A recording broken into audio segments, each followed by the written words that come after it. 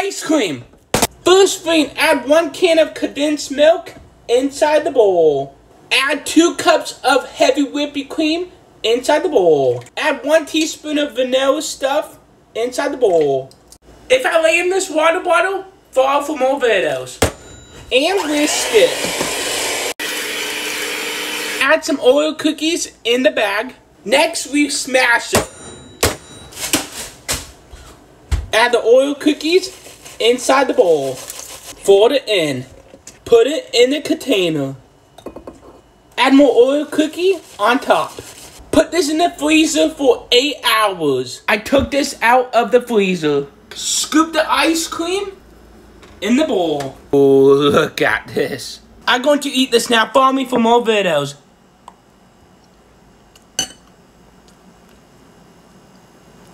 It is bussin'.